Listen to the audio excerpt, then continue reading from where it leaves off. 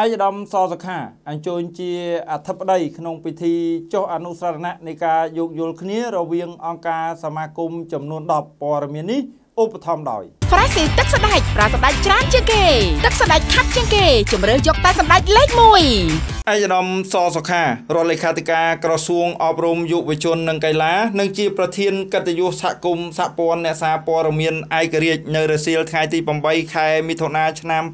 2022បានអញ្ជើញជាគណៈអធិបតីក្នុងពិធីចុះអនុស្សរណៈនៃការយោគយល់គ្នារវាងសហគមន៍សហព័ន្ធអ្នកសារព័ត៌មានឯករាជ្យនិងអង្គការសហគមន៍ក្រៅរដ្ឋាភិបាលចំនួន9នៅសន្តាគារសុខាភ្នំពេញជាង3ខែក្រោយក្រសួងមហាផ្ទៃប្រកាសទទួលស្គាល់សហគមន៍សហព័ន្ធអ្នកសារព័ត៌មានឯករាជ្យហៅកាត់ថា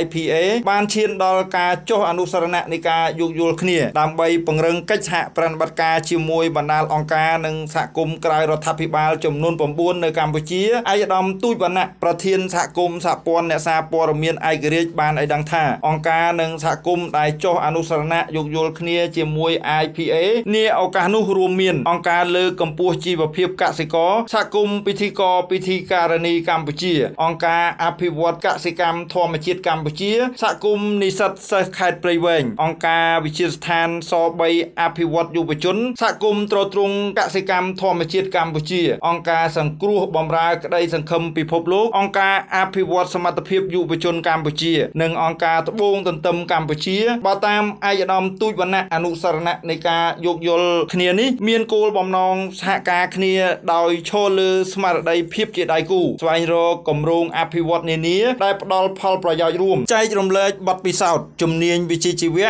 ធនធានមនុស្សឲ្យគ្នាទៅវិញទៅមកបំពេញឲ្យគ្នារាល់តម្រូវការចាំបាច់នានាតាមលទ្ធភាពរក្សាតម្លៃកិត្តិយសកេរ្តិ៍ឈ្មោះផ្លូវច្បាប់ឲ្យគ្នាទៅវិញទៅមកនិងរួមគ្នាធ្វើសកម្មភាពសង្គមមនុស្សធម៌សាសនាកសិកម្មអប់រំកីឡាដែលជាប្រយោជន៍ដល់ប្រទេសជាតិឯកឧត្តមសសុខាបានសម្ដែងការកោតសរសើរចំពោះលទ្ធផលនៃការប្រឹងប្រែងរបស់សហគមន៍សហព័ន្ធអ្នកសារព័ត៌មានឯករាជ្យរហូតឈានដល់ការចុះអនុស្សរណៈនៃការយោគយល់គ្នាជាមួយអង្គការសហគមន៍ចំនួន10បន្ថែមទៀតនាថ្ងៃនេះអាយដាមក៏បានថ្លែងអំណរគុណចំពោះអង្គការសហគមន៍ទាំងអស់រួមទាំងថ្នាក់ដឹកនាំអង្គការសហគមន៍ដែលបានចូលរួមពង្រឹងសុខសន្តិភាពស្ថិរភាពជាតិនិងការអភិវឌ្ឍសេដ្ឋកិច្ចនិងសង្គមពិសេសការបង្ការទប់ស្កាត់ការរាលដាលជំងឺ Covid-19 នាឱកាសនោះដែរឯកឧត្តមសសុខា បានមានប្រសាសន៍ថាជំហរបេសកកម្មរបស់អង្គការសហគមន៍នៅកម្ពុជាពិតជាមានភាពទូលំទូលាយនិងសម្បូរបែបឯកឧត្តមរដ្ឋលេខាធិការក៏បានសម្ដែងការ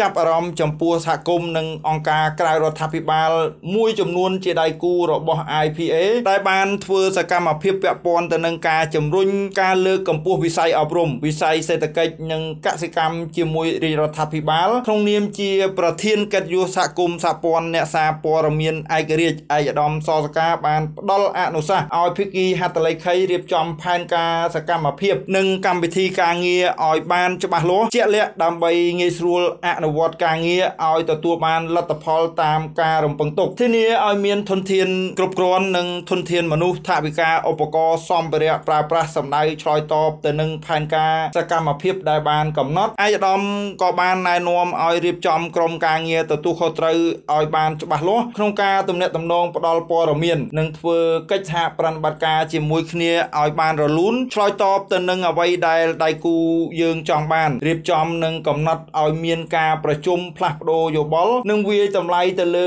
ការអនុវត្តកិច្ចសហប្រតិបត្តិការលើអនុស្រណៈនៃការយោគយល់គ្នារវាងអង្គការសហគមន៍ទាំង10ឲ្យបានទៀងទាត់និងត្រូវបន្តចូលរួមចំណែកឲ្យកាន់តែសកម្មជាមួយរាជរដ្ឋាភិបាលលើកិច្ចការងារសង្គមមនុស្សធម៌ការលើកកម្ពស់ការងារអប់រំបរិស្ថាន ធនធានធម្មជាតិសម្ដៅបង្កើតការយល់ដឹង និងឈានទៅកាត់បន្ថយភាពក្រីក្រជូនប្រជាពលរដ្ឋសហគមន៍សហព័ន្ធអ្នកសារព័ត៌មានឯករាជ្យហៅកាត់ថា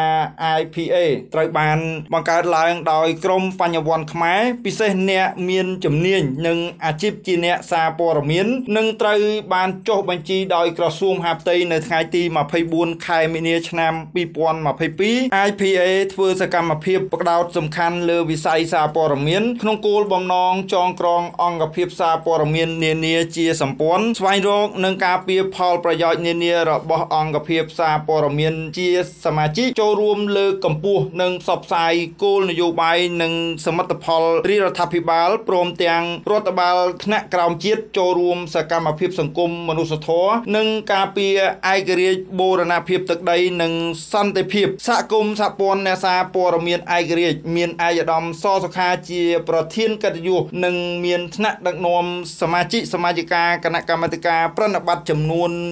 118អង្គអ្នកមានអង្គភាពសារព័ត៌មានបំពេញបែបបទជាផ្លូវការចំនួន6អង្គភាព ជាសមាជិកនិងអង្គភាពសារព័ត៌មានចំនួន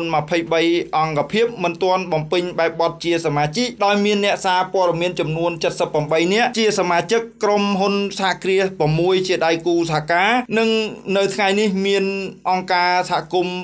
9ជាដៃគូសហការ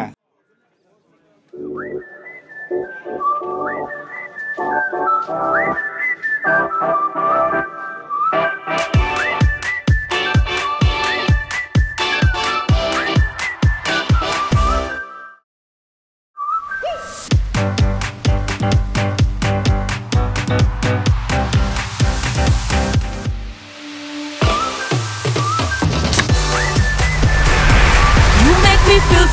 so fresh. You make me feel so cool. You make me feel so fresh, freshy. ទឹកប្រឡាយ Freshy ឆ្ងាញ់ស្រស់ស្រាយត្រជាក់ចេត